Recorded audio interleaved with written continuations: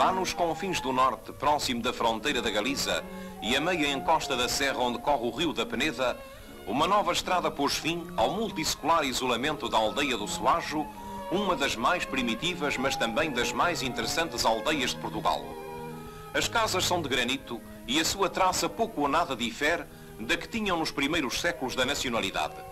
Por lá passou El Rei Dom Dinis, que deu ao Soajo, entre outros privilégios, o de que nenhum fidalgo ali se demorasse mais tempo do que o necessário para se esfriar um pão quente posto no ar na ponta de uma lança. Os suageiros trajam de burel, fiado, tecido e tinto ali mesmo, da lã das suas ovelhas. E muitos andam de luto, não só por morte de parentes, mas por ausência de alguns ou porque algum se casou fora da comunidade. Os espigueiros são todos de pedra, como as casas e o próprio chão. Houve agora grande festa no Soajo, para celebrar a inauguração da Casa do Povo.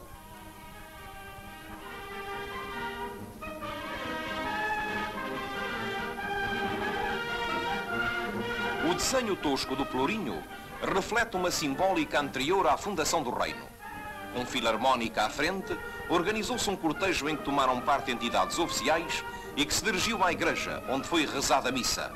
Que o povo do Soajo, em luta constante com os lobos que lhe atacam os rebanhos, é exemplo da arraigada fé católica, rebanho abençoado do Senhor. A nova Casa do Povo põe uma nota branca de alegria no meio do casario pardo e bisonho. Os suageiros têm justa fama de bons bailadores. Nesse dia de festa, dançaram o vira e outras danças.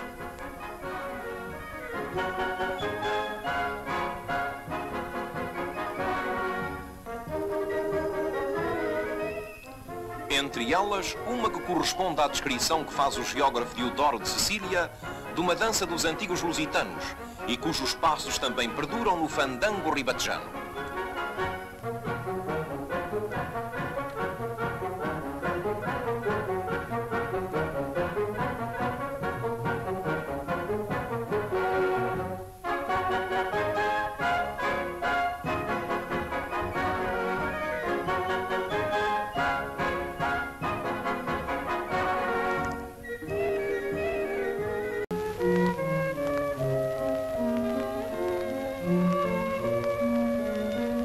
Lá nos confins do norte, próximo da fronteira da Galiza e a meia encosta da serra onde corre o rio da Peneda, uma nova estrada pôs fim ao multissecular isolamento da aldeia do Soajo, uma das mais primitivas, mas também das mais interessantes aldeias de Portugal.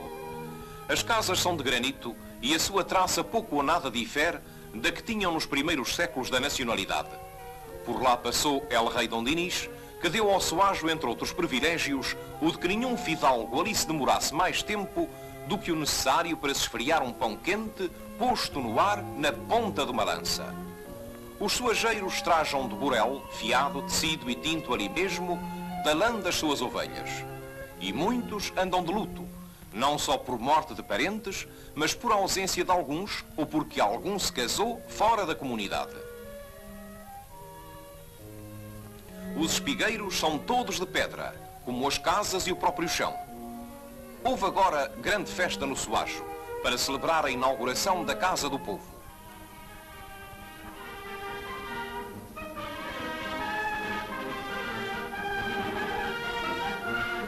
O desenho tosco do Pelourinho reflete uma simbólica anterior à fundação do reino.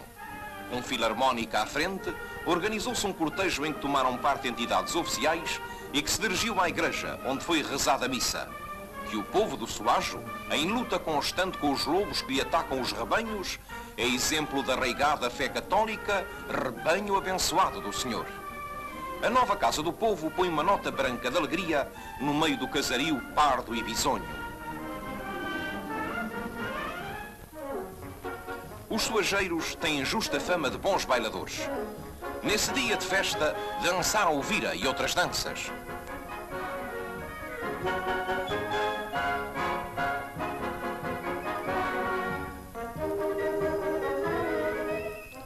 Entre elas, uma que corresponde à descrição que faz o geógrafo Diodoro de Sicília de uma dança dos antigos lusitanos e cujos passos também perduram no fandango ribatejano.